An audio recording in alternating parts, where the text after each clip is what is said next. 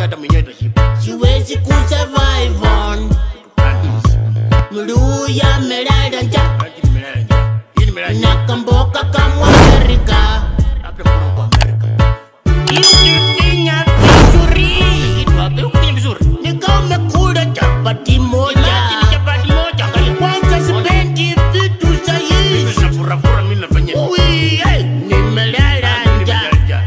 We're going to have to fight much harder. And Mike Pence is going to have to come through for us. And if he doesn't, that will be a, a sad day for our country.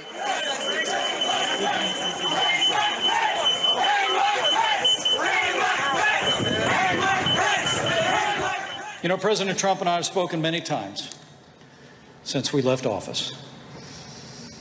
And I don't know if we'll ever see eye to eye on that day. But I will always be proud of what we accomplished for the American people over the last four years.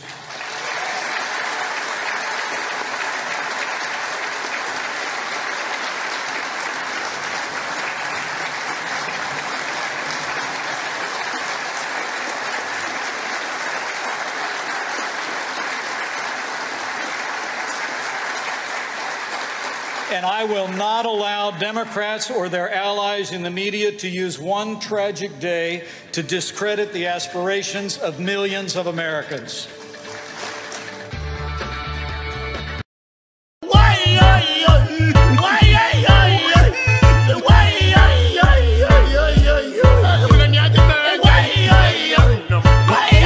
Insurrection. The current Republican Party has allowed the delusions of a single individual, a disgraced, twice impeached, failed Florida blogger, to reveal what, frankly, has long been its one true ethos that when Republicans lose, it can only be because of fraud.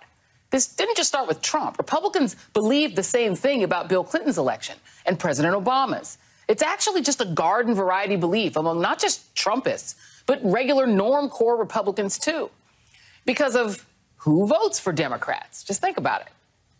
In his lair, meanwhile, down in Mar-a-Lago, the infamous retiree is currently living in a alternate reality, appearing to genuinely believe that he won the election last year and that somehow, any day now, he's going to return in triumph to the White House. And Trump's delusion isn't fading with time. Instead, it's metastasizing as state level Republicans use it to discredit the election in the eyes of their voters and as an excuse to put laws in place to try and ensure that Republicans can never lose elections again. The Washington Post reports that, like a mango Macbeth, Trump is relentlessly focused on the lie that the election was stolen and thinks bogus anti democratic fraudits like the one underway in Arizona are going to prove it.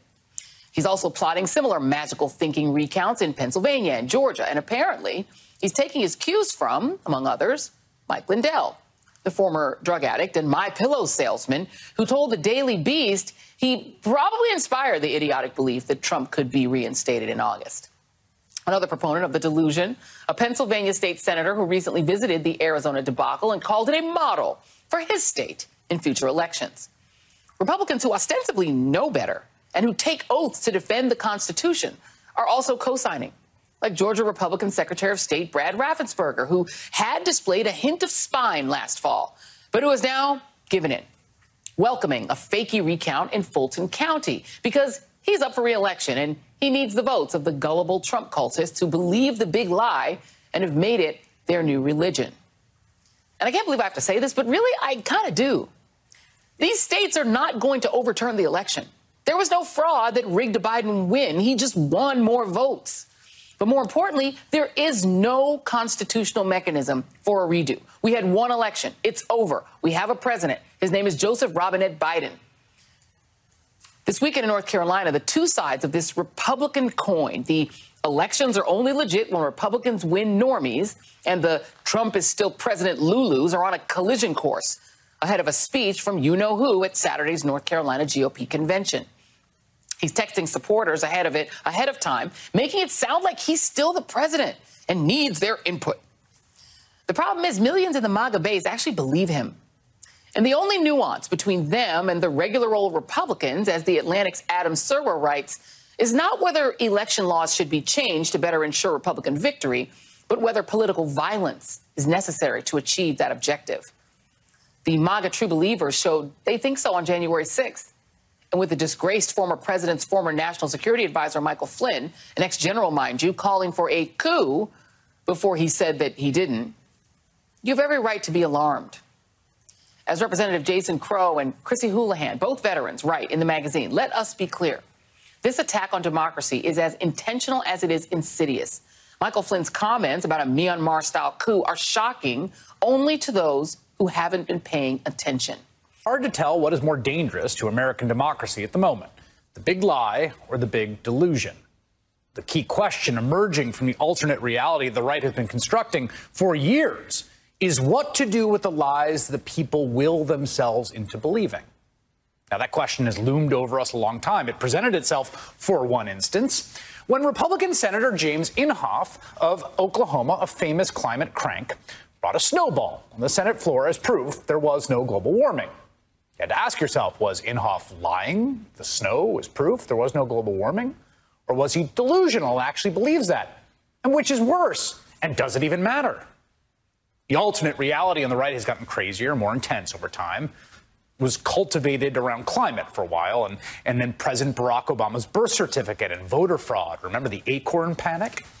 And it grew even more intense, of course, around the cult of Donald Trump and the subsidiary cult of QAnon, with its expectation of a coming moment of cataclysm. When the damned shall be punished and exiled, and the saved shall inherit the earth. The big delusion believing in the alternate reality has now become the unifying litmus test around the 2020 election for the Republican Party. That delusion, that lie, whichever it is, is a sustained assault on American democratic legitimacy on all fronts. It is being engineered in part by the discredited loser who was exiled to Mar a Lago, whose contributions and thoughts are so lame, so boring, so basic that he shut down his blog after less than a month because no one would read it. Of course, why would they? Trump ordered his team Tuesday to put the blog out of its misery, advisors said. And yet, in the same way that, say, cult members might follow a self described prophet who seems like an obvious crank to outsiders, the people inside the movement are true believers. And that's where we are right now, except the movement is one of two of America's two major political parties, one half of the viable political coalitions we have. According to multiple reports, Donald Trump believes he will be, quote, reinstated as president by August. That is, of course, flatly ludicrous. It is not that different from saying that the world will end on August 1st or that I will turn into a dragon on Father's Day. But it is driving the sustained assault on our democracy. Yesterday, we told you about the diehard Trump supporter in the Pennsylvania State Senate, Doug Mastriano. He's an elected official, and he traveled to Arizona to learn about their ongoing, ridiculous, toxic ballot audit because he wants to bring it back to his home state. Do you plan to replicate this process in Pennsylvania? Yeah, if we, if we do an audit in Pennsylvania, and uh, we, it, we got a lot of issues in Pennsylvania, Right. We need to do an audit, and um, this is the process to follow right here. I mean, this this is the model. This effort to um, reverse engineer an overturning of the election is starting to spread. And the exiled, disgraced ex president is following along closely, of course. The Washington Post reports he's increasingly consumed with the notion that ballot reviews pushed by his supporters around the country could prove that he won, according to people familiar with his comments. That obsession is leading him to believe another ludicrous figure, the MAGA pillow guy. Remember him, who's taking credit for planting the seeds of the idea of the August restoration, which, to be fair, he kind of did. The election of 2020 is going bye bye. I, it was an attack by other country, communism coming in. I don't know what they're going to do with it after they pull it down, but it's How- how- but hang- hang on a told sec- our hang on a second. Hold on. Hang- hang- Donald Trump go- will be go ahead. back in office in August. Okay. Here I am midway through my monologue, and it just, it's almost too ridiculous to describe to even say out loud here in front of the camera to you. The ex president really believes he will be reinstated by August. Okay, and I believe I can fly. But this is where we are. I mean, eh, eh, this is what we are the influence of this figure, again, who has no formal power anymore. He can't even sustain a blog that people read, has become a kind of avatar, a, a stand in for a bunch of impulses that already existed that are so profoundly disconnected from the rest of American politics. I mean, people in the Republican Party and conservative movement are still beating down the door to get his approval as he slips further into his dangerous delusion. Having already struck what could have been a near fatal blow to American democracy. Because if you want to have a future in one of the two, again, we've got two major political parties. And if you want to have a future in one of them in this country, everyone understands you have to suck up. Even if that means running on a platform of Donald Trump is right, my father is a huge loser. Thanks also to Texas Land Commissioner George P. Bush for being here. Where's George?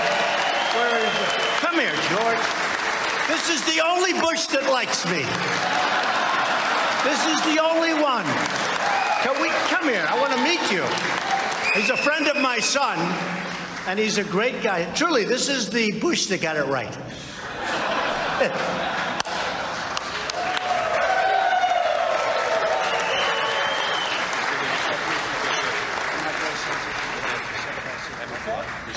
Thank you very much. So that's George Prescott Bush. He's the son of Jeb Bush. Uh, he's there with Donald Trump in April 2019. Now, he's got big ambitions, right? The younger Bush is now running for Texas Attorney General. And his campaign is literally handing out beer koozies emblazoned with that moment. The quote, the image of the handshake this is the only Bush that likes me. This is the Bush that got it right. I like him. Do you remember how Donald Trump destroyed your father in the 2016 election? Low energy Jeb. So the campaign is Hi, I'm George P. Bush. My father absolutely sucks. Please vote for me. I mean, I guess, you know, it's politics. You got to do what you got to do. But oof, I go keep thinking people are going to hit their levels of humiliation. But I don't know. Maybe they all got a weird fetish for it.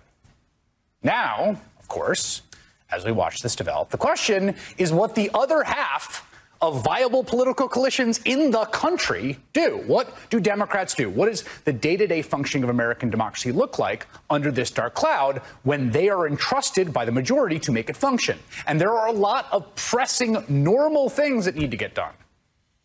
Fighting climate change, repairing infrastructure, creating a kind of care economy that works for people, the infrastructure bill.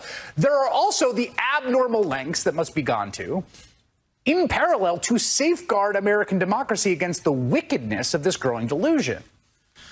Because the idea the election was going to be overturned for Donald Trump on January 6th, yeah, that was also delusional. And look what happened. I feel like I've had to get this off my chest for a little while now, so I'm just going to say it. There's two tracks on which this Republican 2020 election fraud fantasy is playing out. And one of them is completely ridiculous, right? It's like science fiction fantasy with all the, the joy and surrealism and even the fantastic costumes that come with that genre. That first track on which this fantasy is playing out is in Trumpland. It's this idea that Trump secretly won re-election in 2020, that he's actually the real president. Joe Biden is a fraud who appears to be in the White House, but he's, he really wasn't elected, so he shouldn't be there after Trump National Security Advisor Mike Flynn and a becostumed Trump lawyer named Sidney Powell uh, went to a QAnon conspiracy theory convention this weekend in Texas and said Trump actually won the election and he's going to be reinstated as president this summer. And uh, Flynn said we should have a U.S. military takeover, a military coup in this country to bring about the reinstatement of Trump as president. After that happened this weekend, New York Times Trump whisperer reporter Maggie Haberman uh, reported earlier this week that Trump believes it, that Trump really is telling people that he believes he'll be reinstated as president by August this summer. After that reporting from Maggie Haberman at the Times, a pro Trump columnist at a conservative magazine today confirmed Haberman's reporting, saying that indeed Trump believes he's going to be reinstated as president. He earnestly believes it. He's telling people that. He's also apparently telling everyone that uh, Republican senators who lost in November, they'll be reinstated too. Martha McSally in Arizona and David Perdue in Georgia, they'll get their Senate seats back. Just as soon as the whole election is thrown out and he's put back in power and all the Republicans get, you know, unousted. The Washington Post now confirming this basic reporting as well that Trump insists he's going to be reinstated as president. It's insane, right? It's palpably insane. But it's also working for them right now. It's working for them among Trump supporters and among Republicans, most of whom do now believe that the 2020 election wasn't real. It was it was fraudulent and Trump was actually reelected even though Joe Biden's in the White House. It is objectively nuts, but it is real enough to them because they prefer that to reality, and importantly, because Trump keeps saying it's real. And because Republicans in states from Arizona to Georgia to Wisconsin and beyond, they keep backing him up, saying there was something wrong with the election in those states, something wrong that needs to be audited or recounted or investigated. And as nuts as it all is, it is basically the agreed upon reality among Trump supporters coast to coast now. And so we're about to enter into a particularly volatile time with this because Trump is going to give a speech to the North Carolina Republican Party at their state convention the day after tomorrow. In a fundraising email about that speech, he is billing it as a presidential address because he is pretending to still be president. He sent out fundraising texts today calling that speech an official presidential speech as if he is still president. Next week in Wisconsin, the, the pillow company CEO, Mike Lindell, is hosting another of these Trump is the real president convention things. It's, it's, the one he's hosting in Wisconsin started off with this promotional flyer, but then on Tuesday this week, the flyer changed to reflect the fact that Trump himself will be making an appearance at that event. They are billing him, as you can see there on the flyer, as the quote, real president. Our real president. I mean, this is one of the two tracks on which the Trump Republican 2020 election fraud fantasy is playing out. It is, in fact, absolutely ridiculous. There's no provision in our country for a former president being reinstated. Joe Biden won the election by kind of a lot. Republican members of Congress tried to stop the certification of the votes from states that Biden won, but that effort failed. Then on that same day, armed and violent Trump supporters tried to force the stopping of the counting of the Electoral College results in Congress. Right? On January 6th, we saw what they were willing to do to try to make it not so that Trump lost the election. But Trump lost and Biden won, and Biden really is president. At the same time that Biden is president, though, we are in this unprecedented situation where there really is a former president out there earnestly pretending that he is still the rightful president, telling that to everyone who will listen to him, and even telling it to those who don't want to listen to him anymore. You know, he's he's doing right-wing radio shows now where he says about Biden, "How do you govern when you lost?" As nuts as it seems, months after the election, the guy pretending he's still president has actually succeeded in getting Republicans to cast doubt on the clear and certified election results in Arizona and soon in multiple other states, including Georgia and Wisconsin. He is telling people he's the rightful president, that he will be reinstated. He's about to start speeches to that effect and a series of rallies to that effect as well. My question to you is this think about this in a quiet moment. What is the end game of that? Where does that go? What does that ultimately spark among his followers? I mean, the way that first track of the Republican election, uh, Trump Republican election fraud fantasy is playing out in Trump land.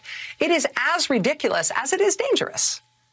I mean, seriously, for the foreseeable future, there is no scenario now in which Republican Trump supporters are going to accept election results anywhere in the country if that election doesn't produce the results they are demanding. That damage is done. Republicans are not just, you know, against Democrats now, they are against democracy now significant numbers, if not majorities of Republican voters will denounce and disbelieve the results of elections. They will treat elections as crime scenes and hoaxes unless they win for the foreseeable future. That, I think, is baked in already. That's a crisis for our country. Beyond that, though, I think it's also worth thinking about what the logical next steps are for our fellow Americans who truly earnestly believe this nonsense, who really take it into their hearts and believe that Trump is still the rightful president, that Joe Biden is an imposter president in the White House who's somehow stolen power and uh, taken over the U.S. government illegally. I mean, Trump wants to be reinstated as president. He thinks he can be. He will tell his supporters that they must demand that, that they must fight for that. How will they try to do that? What exactly do we expect them to do? What wouldn't they do? What does this lead to? when a major political party starts indulging this kind of stuff, it doesn't end in like, you know, let's have a better get out the vote effort in 2022. It doesn't end up with, you know, oh, how do we up our outreach to Latino voters? This doesn't end in anything that looks like politics. Not when you're telling people that there's a tyrant who lost the election, who's stolen power, who is claiming to be the president. And he's not, and the former leader must be reinstated by the people. That is something that doesn't end in a political place. That is a road that ends in a very bad place, and we are way down that road already. And I'm not trying to be scary about this, but I find the place we are in here to be scary.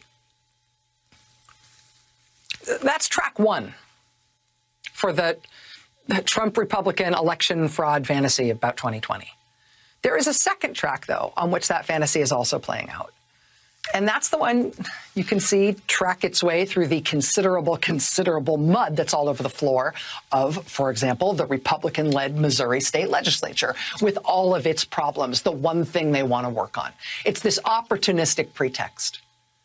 Well, if Trump's going to raise doubts all over the country about how elections are run and how votes are counted, then Republicans can use that as an excuse to not just you know, fantasize great excuses for their losses, to not just stoke suspicions of democracy and elections among their supporters, but they can use that as pretext to pass real laws to make voting hard, to make voting as hard as possible, to take away voting rights, to make sure that small d democratically inclined voters in their states have as many hurdles as possible thrown into their path on the way to the voting booth.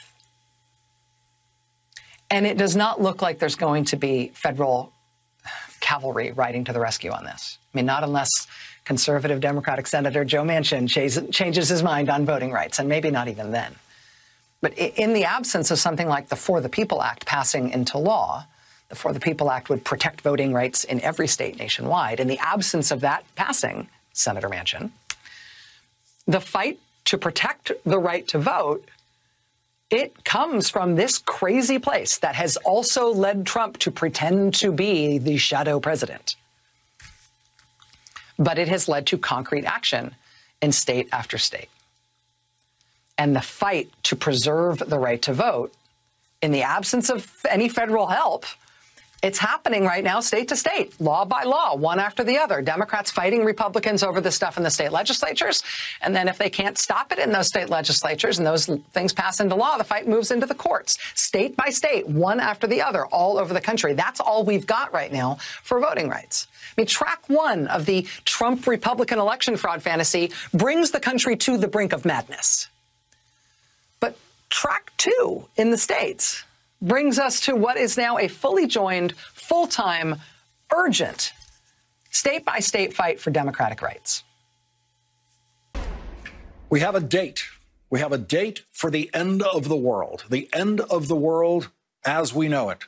Donald Trump has given us a date. In a tweet, New York Times reporter Maggie Haberman said that Donald Trump, quote, expects he will be reinstated by August. What happens when he doesn't get reinstated? I think he can only become more enraged and more uh, and more uh, psychotic. That was Dr. Lance Dodes, a former assistant clinical professor of psychiatry at Harvard Medical School, on this program last night. What happens to those Trump believers when the 31 days of August come and go and Joe Biden is still president while Donald Trump is still cheating at golf? Do they become more enraged and more psychotic? The Conservative National Review reports today, quote, Donald Trump does indeed believe quite genuinely that he, along with former Senators David Perdue and Martha McSally, will be reinstated to office this summer after audits of the 2020 elections in Arizona, Georgia, and a handful of other states have been completed. The scale of Trump's delusion is quite startling. And what about the scale of delusion in the Trump true believers who might number in the millions? Kurt Andersen chronicles such collective American delusions in his best selling book, Fantasyland. Joining us now is New York Times best-selling author Kurt Andersen. His latest book is Evil Geniuses: The Unmaking of America. Uh, Kurt, when I when Donald Trump gave the date, it took me back to all those stories in Fantasyland of people who gave the exact date, the exact date when the world would end. Uh, these Americans with visions, uh, and then the world didn't end. And what happens? What happens to the followers? What happens to the Trump followers on September 1st when Joe Biden is still working and sleeping in the White House? Well, the the, the smart prophets uh, who predict who who give specific dates as they have for hundreds of years, especially in this country, um, don't give dates. Right? It's it's oh this is around the end of the world is around the corner, the second coming's around the corner, but like a date always gets you into trouble. The first big date giver was this Reverend Miller in 1844 who gave a date in in uh, the month of I think March, and it was going to end, and millions of people like today with Trump were ready for that. Didn't happen. He said, "Oh, it's October. It's October 1844." and uh, didn't happen then. And then the, the, many of them were disappointed, and it became known as the Great Disappointment. But but the, those followers, many of them became the Adventist religion, the Seventh Day Adventists, and here they are still today. So, you know, if you're if you're invested in believing untruths, which is so central to Trumpism, to the Republican Party these days, one prediction of of of the the failure to reinstate, as if that's a thing in the Constitution, won't necessarily stop them. I mean, who knows what horrible deep state thing will have prevented it? I mean, there's and it's not just uh, you know Christian religion. I mean, uh, the astrologer Jeane Dixon famously gave one of these end of the world things. Uh, Jim Jones, uh, who uh, later ended in Jonestown. Mm-hmm. I think I often think of when I think of Donald Trump. Um, 2012, the, you know, the world was supposed to end or transform in this Mayan prediction. It happens again and again, but the true believers keep on believing. I mean, I think we're getting down to his his, his the, the the true base because now he, as it's been reported, he actually believes this. So he is not just the charlatan uh, fooling the suckers, he is among them, delusional apparently um, as they. You have always uh, kind of you've, you've recently taken to using a diagram to explain Trump in terms that you've always explained Trump. And one of the biggest bubbles uh, of explanation of what Donald Trump has just said is stupidity. Uh, and that that is the one that is one of the most important ones that you use. There are other bubbles that you use uh, where it's self promotion and and and uh, other things, but. Stupidity explains a lot of what you hear from Donald Trump, and yet uh, in most of the kind of world, people in the political world of analyzing what he says tend to leave that out and tend to think that there's something else going on. no, it's important. I mean, the three main bubbles are lies, stupidity, and delusion. And and and you know, there are plenty of liars in the world, plenty of liars in politics. So believing or understanding that the stupidity and now full on, full scale clinical delusion are what he's about is hard for people to accept. Because of course he he did this brilliant thing right? He got elected president so how can he be stupid? But he is so shamelessly stupid just about how government works how this reinstatement in august would work. Because it is like a you know the the the the the, the extraterrestrials are going to come or or or it's it's that kind of wait what's the basis for this reinstatement? No, he's he is really dumb. And when you combine the the dumbness with this uh, fantasy, um, which is the only way he can imagine ending the nightmare of you know his blogs yeah. failing and and not having the attention of the world that he had you know six months ago. Who is Antifa? They stormed the beaches of Normandy, parachuted into the French countryside and gave their lives to face down and fight back against fascism. They took down Nazi machine gun nests, tore apart the Third Reich's strongholds, liberated concentration camps, liberated France, Italy, Belgium, Holland. Anywhere Antifa saw fascism, they fearlessly and relentlessly annihilated it. Fascism was defeated because of patriots like these proud Americans who knew that the fight against fascists was not simply a battle between opposing nations. It was a war against inhumanity. A war that isn't nice, but cannot be lost. A war we still fight today. Anti-fascism. It's not a cable news talking point. It's an American ideal that should be memorialized because it was paid for in blood. The Lincoln Project is responsible for the content of this advertising. Restore him? How about restrain him? Donald Trump is insane. That has been obvious for decades, but it is a functioning insanity, and within it, he has latched onto the notion and told people around him that those private, irrelevant Nancy Drew vote audits in Arizona and Georgia, and now he wants one in Pennsylvania too, will, quote, restore him, unquote, to the presidency by August because the My Crackhead Pillow guy says so. But it doesn't matter if it's insane. It doesn't have to be sane or legal. It just has to be something. It just has to keep the Trump cultists donating. It just has to keep the Trump cultists outraged. It just has to keep the suckers going to the fascist rallies resumed Saturday in North Carolina. It lets Trump say the election is being audited, the way he used to say, my taxes are being audited. And this is why we have to act and we have to act brutally against Trump and his supporters in office and out, within the law, but brutally. There is at the heart of the official go slow, hope cooler heads prevail mantra a fear that if the Justice Department under a Democratic president were to arrest Representative Boebert for insurrection, or to arrest Representative Gaetz for obstruction of justice, or to arrest Trump for tax evasion, that if the Republicans ever again came to power, they would then arrest Democrats. This hesitation, of course, ignores the reality that if the Republicans ever again come to power, they intend to arrest Democrats, whether or not Democrats arrested them first. What do you think would be the point of a Trump second term?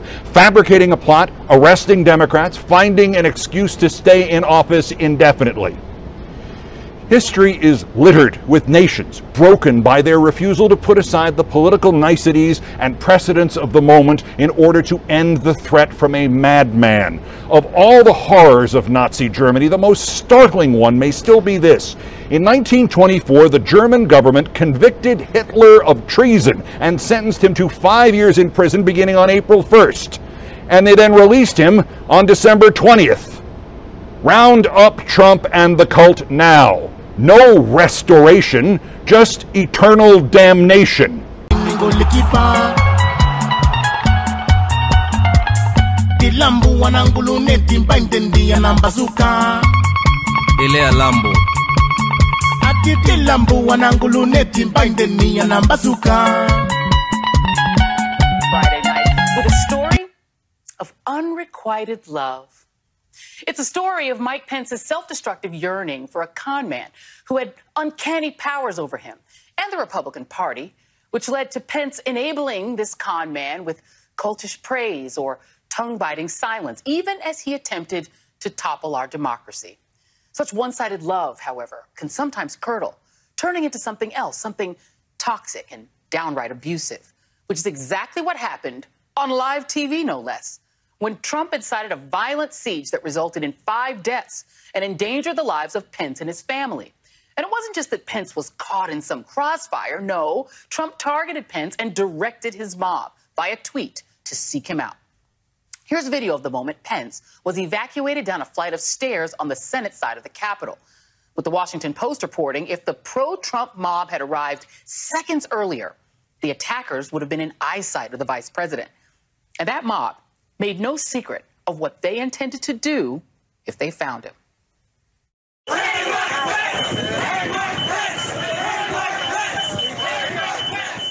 Hang Mike Pence. Chilling words for generations to come. Perhaps Pence didn't get the presidential memo that he's just not that into you. Because Mike Pence, after all of that, emerged last night without even a fly on his head to say this. January 6th was a dark day in the history of the United States Capitol. You know, President Trump and I have spoken many times since we left office. And I don't know if we'll ever see eye to eye on that day. But I will always be proud of what we accomplished for the American people over the last four years. That's right. We don't see eye to eye as if Trump ordering a mob to lynch him was simply a, a, disagreement over, say, Brandy versus Monica, or whether the GOAT is Tom Brady or Serena or Simone Biles. Because for Pence, well, it's a little murderous rampage among friends.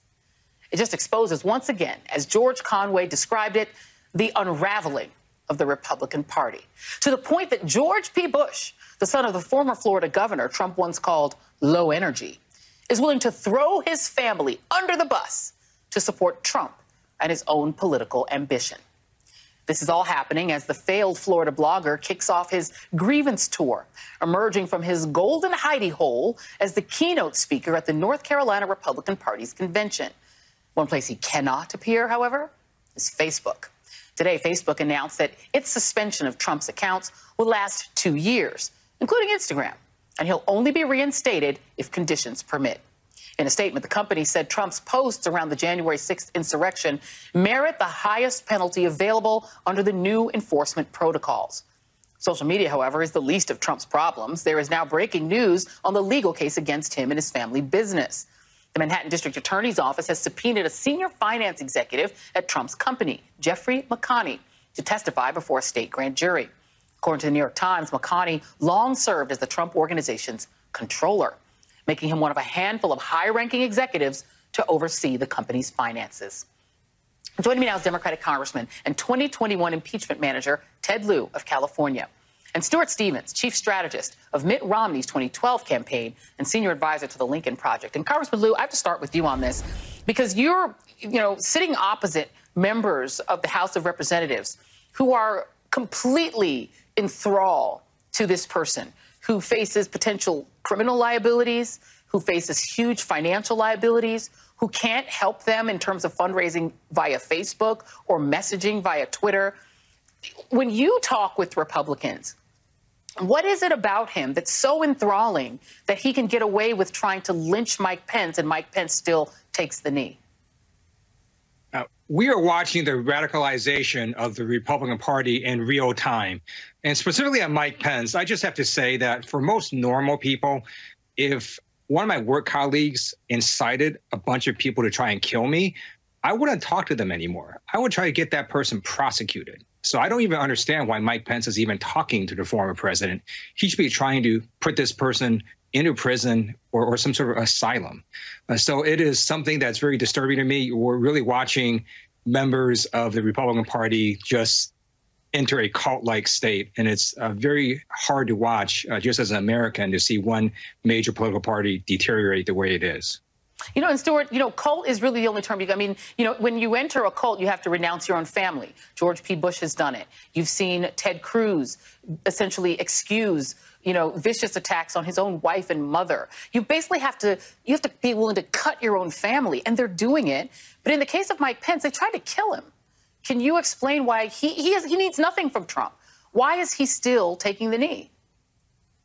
Uh, well, first, I, I, want to take this opportunity to thank the congressman who, at another time, I might have opposed, but he has been a real champion standing up for democracy, and it means so much more than any other political differences we might have had. Um, so, thank you, Congressman. Um, you know, I think the, the dirty little secret here is that Donald Trump is what the Republican Party wants. And what he has tapped into is a obviously deep-seated uh, autocratic desire on the Republican Party. And I even think a cult is not the way to look at it because you can deprogram people from a cult. But I don't know how you deprogram people from autocracy and racism. And I think that he has emerged as a white grievance party's leader. And, you know, one of the lessons here, I think, is that leaders matter. We saw that in the 1930s. Why didn't America become fascist? probably because Roosevelt was president and not, you know, say Lindbergh yeah. um, or Henry. So I think that the truth here is uh, is very dark and disturbing, and I think the outcome of this is very much in doubt. No, you're absolutely right. Let me play for you Ron Johnson because I think this he kind of demonstrates what what it looks like when you've gone all the way over. Uh, here's Ron Johnson. Essentially, he cannot bring himself to give Trump any responsibility for what happened on January 6th. Here he is why are you not aggressively looking at what happened that day from the perspective of President Trump's role? Because we've had an we've had an impeachment trial. But you don't think he bears any responsibility? Listen, I think our hyper-partisan politics is driving all of this. Go back to the, the number of articles of impeachment against President Trump. Go go back to the, the summer riots uh, where you had, for example, Vice President Harris uh, encouraging people to donate to a fund to bail these rioters out so they can riot again. Again, there, there's there's plenty of societal blame to go around. And Congressman Lieu, you were impeachment manager. He's blaming impeachment. He's blaming Speaker Pelosi. Everyone else is responsible but Trump. In, in, in, a sense, do you think it would make more sense at this point, given that that's where the Republican Party is? And I think Stuart is, is absolutely right. Wouldn't it just be easier for the Speaker to just impanel a blue ribbon commission, something like a sort of a House version of the Watergate Commission, and just be on with getting this investigation into January 6th going, and just forget the Republicans and just just do it, just have the Democrats do it? Uh, the Republicans cannot stop the full truth from coming out. So the speaker is either going to uh, have a select committee or empower the standing congressional committees to look at January 6th to find out exactly what happened before January 6th, what happened that day, and what the consequences are. So it's going to come out. They can't stop this. It's just the form of what the investigation will look like.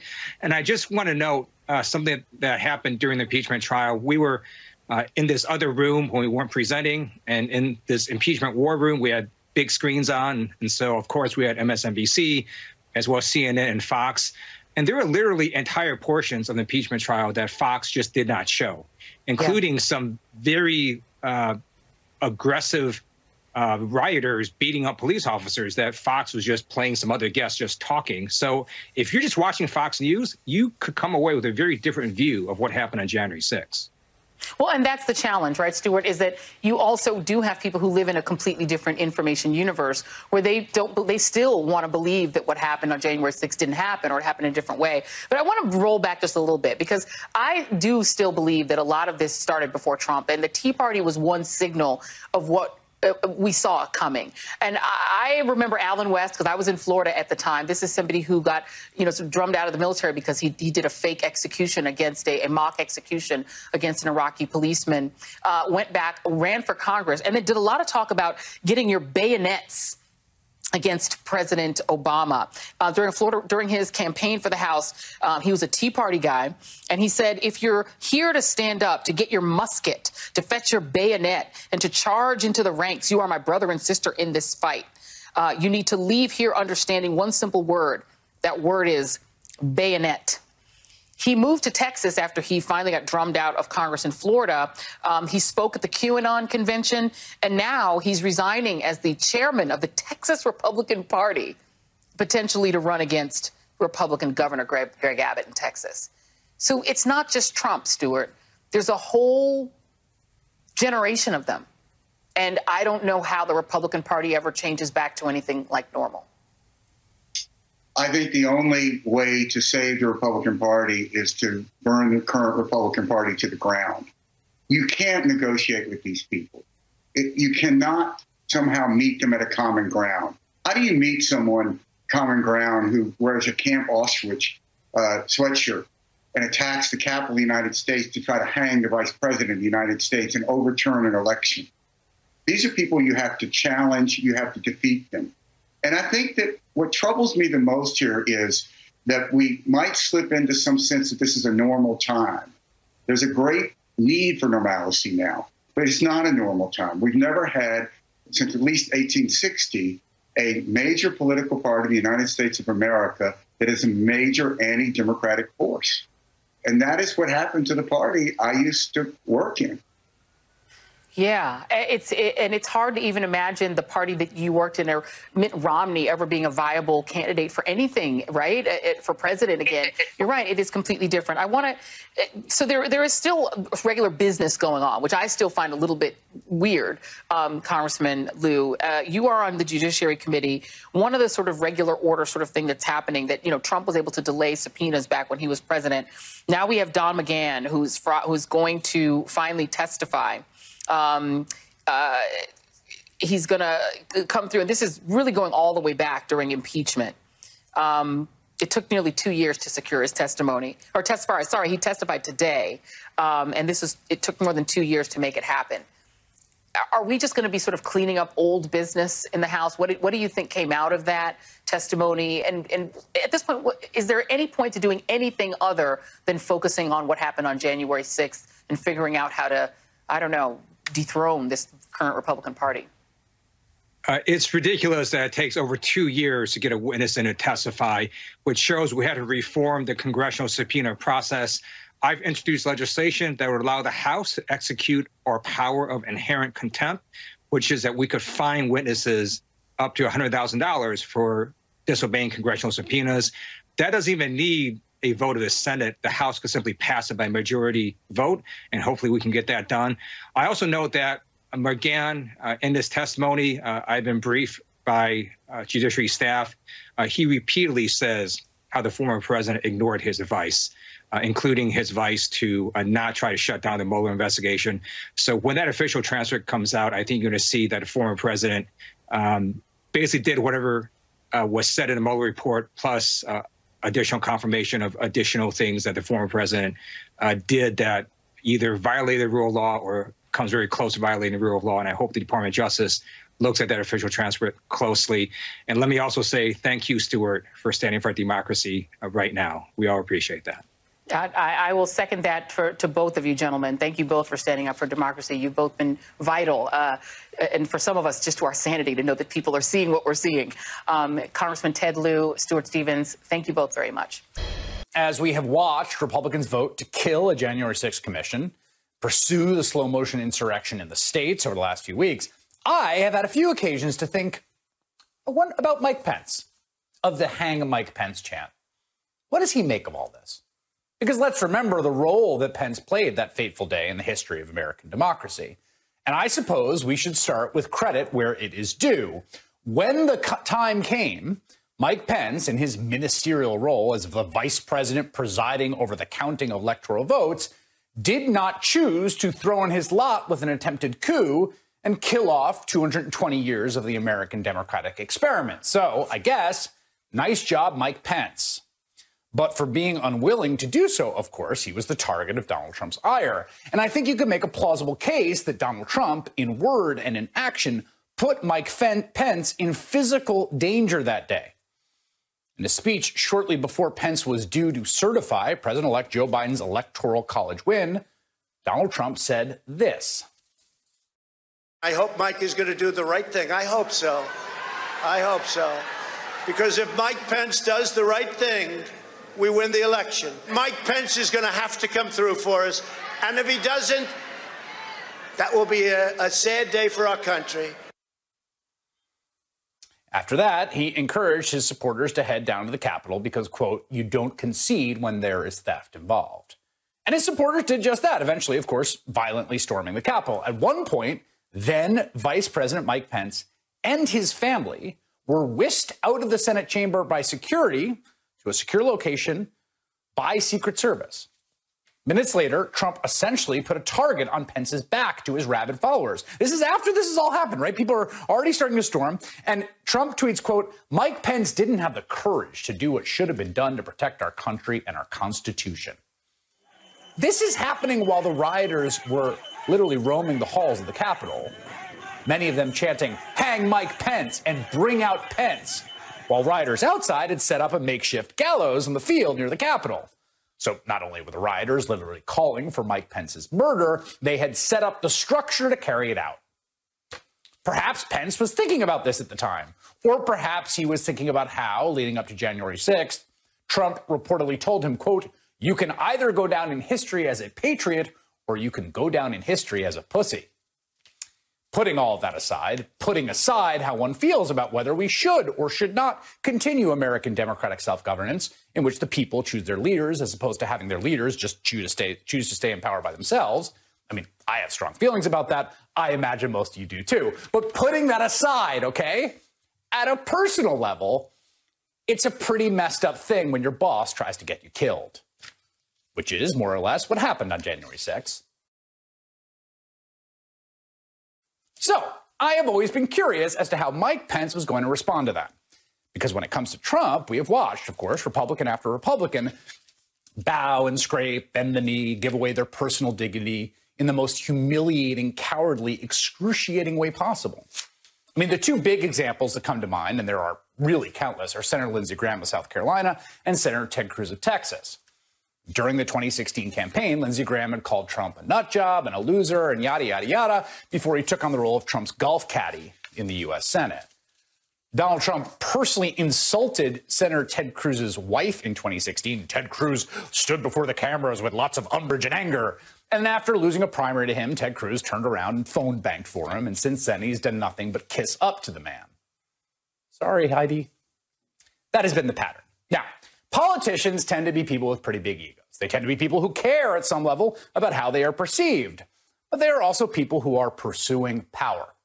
And so we keep seeing this almost Shakespearean test for politicians, particularly in the modern Republican Party, which is what matters more, your pursuit of power or your own basic dignity? Ask yourself, what if Donald Trump just told everyone in the Senate to crawl around like a dog and bark if the bone they were promised was proximity to power? I gotta think they would do it. I can almost hear the arfs arfs coming from Ted Cruz's mouth. Now, the person whose literal safety and the safety of his family, to be clear, was threatened by Donald Trump is Mike Pence. And yesterday, Mike Pence spoke at a Republican dinner in New Hampshire where he addressed the attack on the Capitol and finally mustered up the courage to stand up for himself against his former boss a little. January 6th was a dark day in the history of the United States Capitol. But thanks to the swift action of the Capitol Police and federal law enforcement, violence was quelled. The Capitol was secured. And that same day, we reconvened the Congress and did our duty under the Constitution and the laws of the United States. You know, President Trump and I have spoken many times since we left office. And I don't know if we'll ever see eye to eye on that day. But I will always be proud of what we accomplished for the American people over the last four years.